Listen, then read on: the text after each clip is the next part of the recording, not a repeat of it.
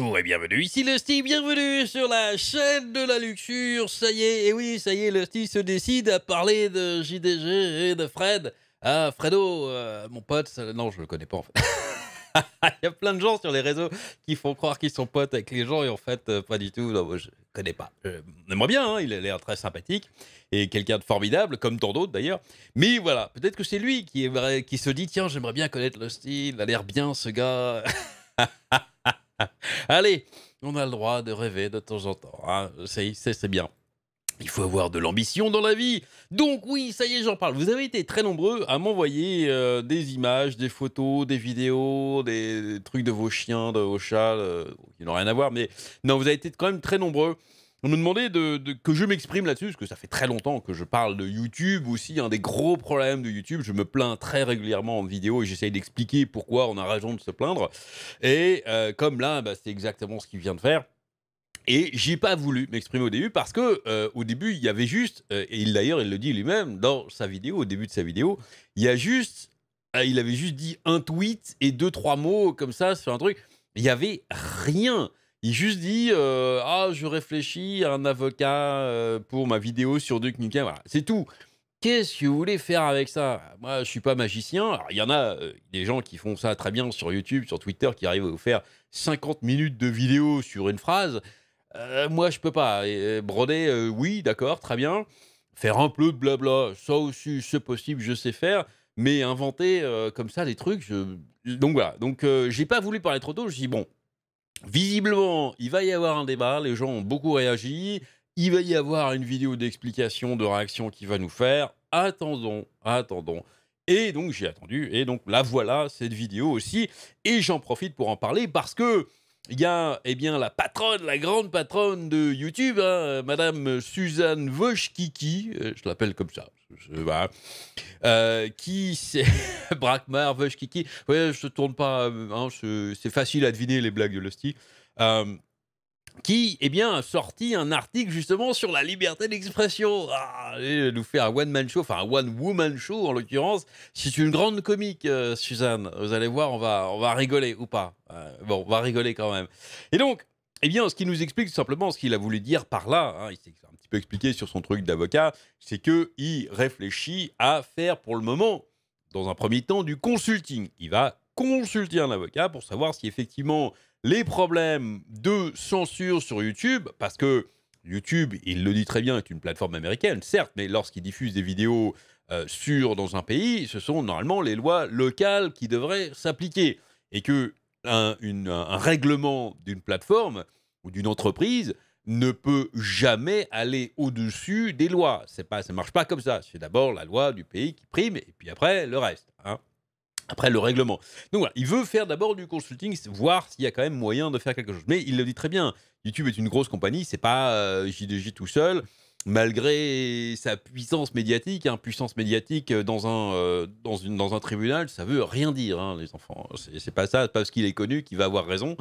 Donc c'est très compliqué. Euh, on sait qu'aller à la bataille juridique avec Google, ça peut, en l'occurrence, prendre énormément de temps. Juste ça, même si vous avez raison, et qu'à la fin vous gagnez, rien que le temps que ça prend, en fait, va dissuader et peut vous faire perdre.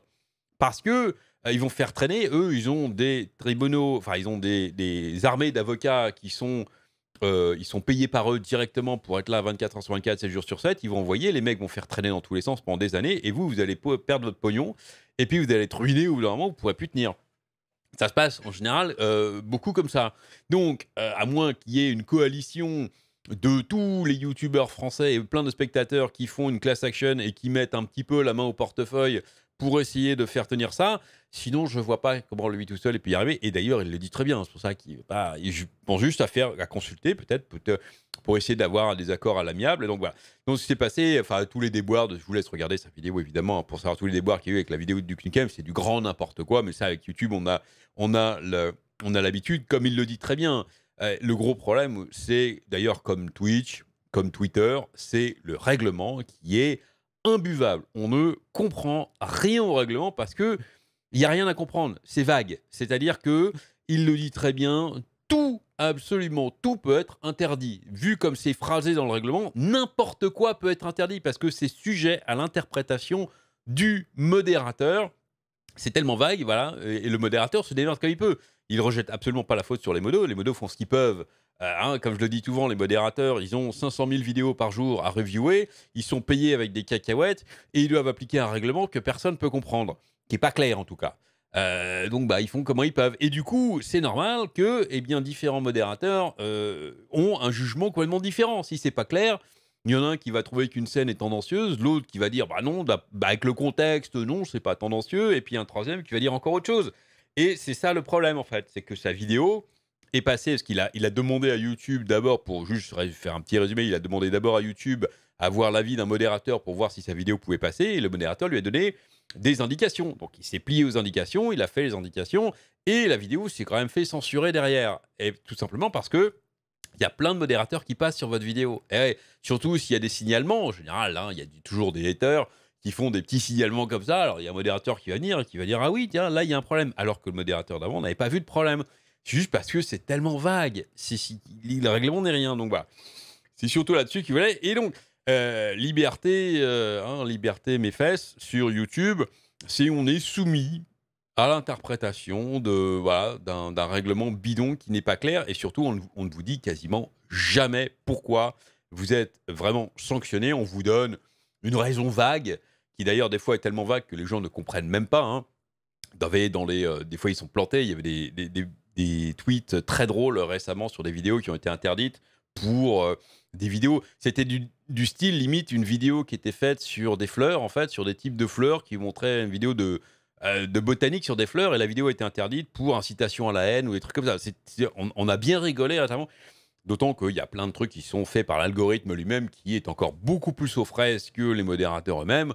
Euh, bon, c'est du grand n'importe quoi, donc euh, il en a ras-le-bol parce que lui, c'est son, c'est son gagne-pain. Hein. moi, si j'ai une vidéo euh, qui se fait euh, démonétiser, qui se fait shadow, euh, comme il le dit, il explique le shadow ban aussi dans sa vidéo, qui existe bien, hein, je confirme. lui, bah, lui, ça lui fait énormément d'argent. Moi, il a une entreprise, il fait plein de trucs qui plaisent à plein de gens. Moi, j'ai envie qu'il continue à faire plein de vidéos, donc j'ai envie qu'il gagne de l'argent et qui, c'est pas en plus un de ceux qui prend l'argent et qui le met sous son matelas. Qui non, il réinvestit énormément dans ses vidéos, dans ses créations. Donc voilà c'est un problème. Si moi j'ai une vidéo qui se fait démonétiser, bon, c'est chiant, j'aurai quelques petits dollars en moins. C'est voilà, mais bon, c'est pas, ça va. Hein. Je peux d'ailleurs arrêter YouTube. J'ai un métier, j'ai un vrai métier à côté. Euh. bon, ça m'embêterait évidemment, mais parce que ça met du beurre dans les épinards? Mais ça va, je peux vivre. C'est pas quand c'est votre métier. Euh, quand vous en vivez, c'est très embêtant de, voir ça. Parce qu'en plus, il, essaye de faire vraiment les choses bien. Il prend le temps pour essayer de faire les choses bien. Et ça marche pas. Donc, euh, il y a de quoi vraiment rager. Donc voilà. Et pourquoi j'ai voulu aussi faire cette vidéo Donc, je disais, parce que Madame euh, Kiki, ah, Suzanne, la patronne, a fait un article. Elle a sorti un article pour expliquer la liberté d'expression sur YouTube. qui est inexistante, en fait. Vous avez le droit de dire ce que YouTube vous laisse dire, en fait. C'est ça, la liberté d'expression sur YouTube. Et vous allez voir, c'est exactement ça. Alors déjà, pour vous donner une indication, elle a fait donc un article qui donne les grandes lignes. Hein. Elle fait un article quand même qui est censé intéresser les créateurs de contenu et tous les gens qui veulent effectivement débattre de la liberté d'expression et expliquer les grandes lignes de elle, comment elle voit le futur de YouTube. C'est très important.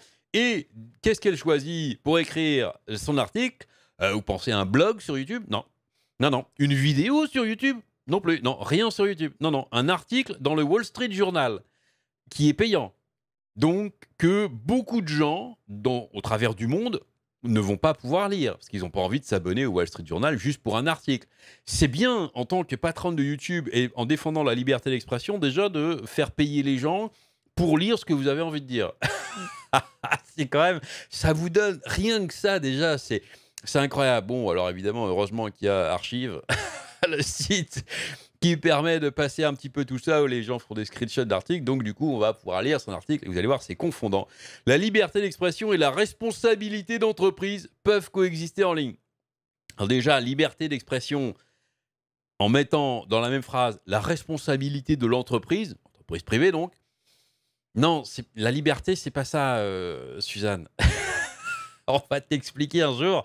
C'est pas ça du tout. C'est pas ma boîte fait les règles, euh, c'est de la liberté d'expression. Non, non, c'est pas ça. Allez, on y va, on va rigoler un petit peu. Quand j'étais jeune, ah, ça commence bien.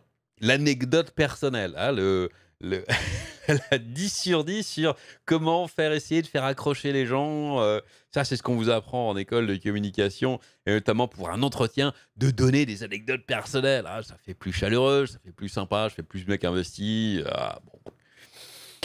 Quand j'étais jeune, chaque fois que j'écrivais une lettre à mon grand-père, ah, il nous fait comme, euh, comme le patron de Blizzard, comme Alan Brackmar, les références à sa famille, ce truc. Bref, j'avais peur qu'elle soit censurée. Elle aurait été censurée sur YouTube, très certainement. Mon père avait fui la Pologne communiste pour les États-Unis. En général, quand on veut dire un truc, quand on veut faire euh, parler de la censure, c'est soit les nazis, soit les communistes. Bon, là, c'est les communistes. Peut-être qu'elle va nous parler des nazis plus tard, ce sera le combo. Mais mon grand-père n'a pas su s'échapper et vivait derrière le rideau de fer. Pauvre. J'ai appris très jeune que cela peut être dangereux lorsque les gouvernements vont trop loin. Ah, Suzanne, magnifique Suzanne. Je crois qu'elle fait de la poésie. Je crois qu'elle est en train de faire un discours à l'ONU, là, j'ai l'impression. Non, non, c'est pas ça. hein. Déjà, c'est le Wall Street Journal. Hein. En tant que PDG de YouTube, je suis quotidiennement aux prises avec des problèmes liés à la liberté d'expression et à la responsabilité. Les entreprises, la société civile et les gouvernements sont confrontés à des défis sans précédent et trient des questions complexes déterminant où tracer, où tracer les lignes du discours au 21e siècle. Liberté d'expression, tracer des lignes. Hein, Il y a un petit... Bon. Les décideurs politiques du monde entier présentent des propositions réglementaires. Certains soutiennent que trop de contenu est laissé sur les plateformes, tandis que d'autres disent que trop de contenu est supprimé. Chez YouTube, nous nous efforçons de protéger notre communauté, tout en permettant à des voix nouvelles et diverses de se faire entendre. Ah, le fameux coup du c'est pour vous. On vous protège, c'est pour vous. On sent surtout, ah, on vous protège du JDG. Ce salaud qui fait des vidéos sur Duke Nukem, c'est pour protéger les gens. Merci Suzanne. Maman Suzanne nous protège. Trois principes devraient guider les discussions sur la réglementation de la, euh, la parole en ligne. Ah, on sent que la liberté, elle en a pris un coup là. hein. Déjà, elle n'a pas dit la réglementation de la liberté d'expression, ce qui est quand même pas mal. Premièrement, l'internet ouvert, ah, c'est mal, vi- on sent qu'elle elle aime pas le dire l'internet ouvert, hein, a transformé la société de manière incroyable. Les dirigeants du groupe des sept, si c'est une organisation secrète de, de domination du monde. C'est comme le club des cinq, ces vieux bouquins euh, qu'on lisait, enfin moi, quand j'étais jeune ont réaffirmé la valeur fondamentale de l'ouverture dans une récente déclaration. YouTube met les informations à la disposition de toute personne disposant d'une connexion Internet. Des gens du monde entier viennent sur YouTube pour trouver des informations et pour regarder les pubs. Ah bah, faut bien vivre. hein.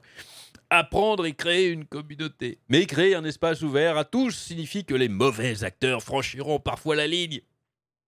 JDG, tu as franchi la ligne, JDG. Suzanne vient te le dire. tu as montré, tu as montré des nichons pixelisés. Tu as franchi la ligne. tu fais du mal aux gens. YouTube a toujours eu des directives communautaires qui définissent les règles de la route. Nous supprimons le contenu qui pourrait causer un préjudice réel, tel que l'extrémisme violent. Eh oui, les nichons, c'est violent. La violation du droit d'auteur et les farces dangereuses, les fameux pranks. hein. Alors ça, les pranks, euh, à la limite, ça je veux bien, à la limite, parce que ça met en, ça met en danger la vie des gens. Bon, c'est quand même un autre problème que la liberté d'expression. La violation du droit d'auteur, on a vu hein, les abus sur YouTube, euh, les vidéos supprimées pour 3 secondes de contenu, alors que normalement on a le droit à la parodie. Ça, c'est dans la loi, hein, dans la loi des, de plein de pays différents. hein. Normalement, la loi française de s'appliquer, on a le droit d'utiliser. Non, non, les vidéos sont supprimées.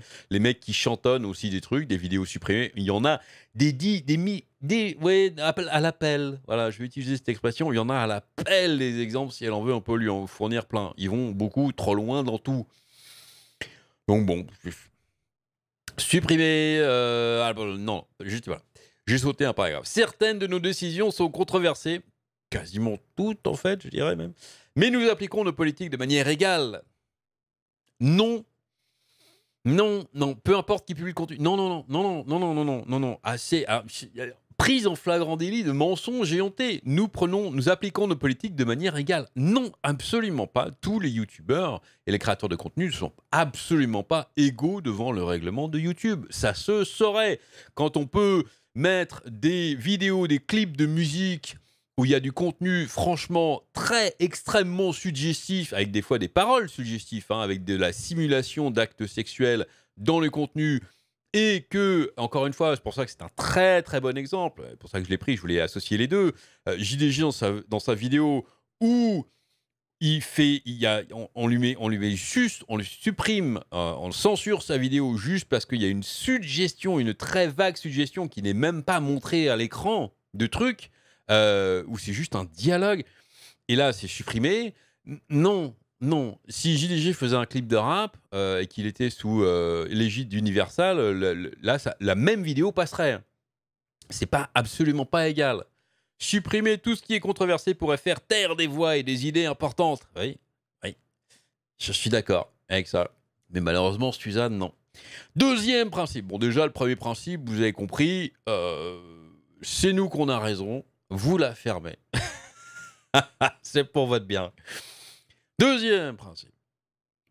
Les gouvernements démocrates doivent fournir aux entreprises des directives claires concernant les discours illégaux. Hey, ça serait bien de s'appliquer cette règle à soi-même et de fournir un règlement clair sur ce qu'on a le droit et ce qu'on n'a pas le droit de faire. Cela nous aide à supprimer le contenu illégal plus rapidement et plus efficacement. Ces lois doivent être fondées sur les normes internationales car les fonctionnaires équilibrent le droit à l'information avec le risque de préjudice. Ça, là, Suzanne, ce qu'elle est en train de nous dire ici, euh, vu qu'elle veut que ça soit basé sur les lois internationales, c'est-à-dire qu'elle n'a pas envie de faire des lois pays par pays. Elle veut pouvoir passer outre le règlement de chaque pays, les lois de chaque pays, pour juste appliquer les lois internationales qui sont euh, en général un petit peu moins poussées, hein, parce qu'il faut que pour faire des lois internationales, il faut que beaucoup de pays se mettent d'accord, du coup, c'est beaucoup plus lent. Et euh, on voit tout de suite où elle veut venir, hein, Suzanne. C'est arrêtez de nous embêter avec vos lois de vos pays à la con. Nous, on veut juste des petites lois et puis on fait ce qu'on veut de toute façon. D'autant que pour faire appliquer après, euh, comme on dit là avec le JDG, déjà, euh, tenter une action en justice dans un pays parce que YouTube ne, ne, respecte pas la réglementation du dit pays, c'est extrêmement compliqué, voire impossible. Alors, faire appliquer une loi internationale, là, Laissez tomber, les gars. C'est même pas la peine. Si vous n'êtes pas une grosse entreprise de la taille de Google en face, euh, YouTube est prêt à travailler avec les gouvernements pour résoudre ces problèmes et d'autres. on n'y croit absolument pas. Mais tout ce qui concerne la modération du contenu ne sera pas supervisé par les gouvernements. Eh, encore une fois, euh, cassez-vous, il n'y a rien à voir. C'est pourquoi je crois fermement au troisième principe. Ah, le troisième. Les entreprises devraient avoir la flexibilité de développer des pratiques responsables pour gérer les discours légaux, mais potentiellement préjudiciables. Les entreprises, ce qu'elle nous dit là, encore une fois, les entreprises devraient avoir le droit de faire ce qu'ils veulent. Voilà, c'est en gros euh, ce qu'elle nous dit. Parce que euh, potentiellement préjudiciable, qui c'est qui détermine ça? Euh, Parce qu'elle le dit, les discours légaux, légaux, hein, donc tout à fait légal de dire dans le pays en question, vous le dites, hein, normalement vous avez le droit de le lire, mais potentiellement préjudiciable. C'est-à-dire, qui estime qu'il y a un potentiel préjudice C'est pas vous, c'est pas moi, c'est YouTube. En gros, elle nous refait, elle nous ressort ici ce qu'il y a exactement dans le règlement actuel de YouTube. On fait ce qu'on veut et on peut tout supprimer, tout ce qu'on veut parce que on peut estimer que c'est potentiellement préjudiciable. Certains décideurs politiques débattent du discours juridique qui devrait être autorisé sur les plateformes, mais de telles règles normatives pourraient avoir de graves conséquences. Ah oui, ne venez pas nous embêter avec vos lois. Supposons que les fonctionnaires décident de réglementer le contenu juridique qu'ils considèrent graphique. Cela peut conduire à la suppression des images de protestation, des jeux vidéo et des clips musicaux. Et des clips musicaux Eh oui, elle le met, parce que les images de protestation, elles s'en foutent complètement, les jeux vidéo, elles s'en foutent. Euh, ce qui explique très bien JDG dans sa vidéo, c'est que les clips musicaux est une énorme partie de part de marché de YouTube. Ils se font énormément d'argent grâce à ça. Et donc, si jamais nos amis politiques qui viendraient réglementer tout ça et qu'on puisse plus voir de clips musicaux sur YouTube, là, c'est un gros problème monétaire euh, chez YouTube. Elle veut pas ça, Suzanne. C'est pour vous, mais en fait, non, c'est juste pour son pognon. Enfin, le pognon de l'entreprise. Les preuves sur YouTube ont aidé les procureurs suédois à tenir le régime syrien et les combattants rebelles pour responsables de crimes de guerre. Là, on donne le l'exemple qui va dans son sens, en ignorant évidemment les centaines de millions d'exemples qui ne vont pas dans son sens. Un grand classique. Et si ces vidéos avaient retiré parce qu'elles étaient jugées trop graphiques. Ah ouais. Ah ouais. C'est vrai que des nichons pixelisés, on peut tout à fait comparer ça à des rebelles syriens qui combattent le régime. bien sûr. Les entreprises doivent également être en mesure d'agir rapidement lorsque de nouvelles menaces surviennent. JDG est une menace. Sachez-le. Arrêtez de regarder sa chaîne. moi, je n'arrêterai pas. Mais bon, moi, je suis foutu. C'est fini pour moi, de toute façon. Mais vous, protégez-vous. L'année dernière, lorsque des tours de téléphonie mobile au Royaume-Uni ont été incendiés après qu'une théorie du complot y blâmait Covid-19 sur les réseaux 5G, nous avons mis à jour nos politiques en une seule journée pour supprimer le contenu préjudiciable. Ça, en une seule journée, ça veut dire qu'ils ont mis à jour le bot pour supprimer tout ce qui parlait à la fois dans la même vidéo de 5G et de euh, virus. Voilà, même pour dire que c'était bidon. C'est-à-dire que même les vidéos qui, dit, qui étaient d'accord avec ça, en fait, se faisaient aussi supprimer parce que c'est un bot qui est complètement débile euh, et qui fait juste des associations de mots. Mais voilà, euh, le grand exemple, hein, ce sont les chaînes d'histoire. Quand elles parlent d'histoire en donnant des faits historiques qui sont reconnus par la communauté, qui sont dans des livres, mais qu'on parle de sujets qui sont sensibles, on parle de colonisation, on parle de nazisme, on parle d'autres trucs, là, le bot, il dit, oula, il a dit le mot nazi. Euh, non, non, c'est préjudicial. Alors que ce sont des trucs d'éducation. C'est pareil. Certains diront peut-être que les gouvernements devraient superviser le discours en ligne, mais nous avons besoin de flexibilité pour trouver le bon équilibre entre ouverture et responsabilité. Ah, ça, on peut faire confiance à YouTube pour trouver le, le bon.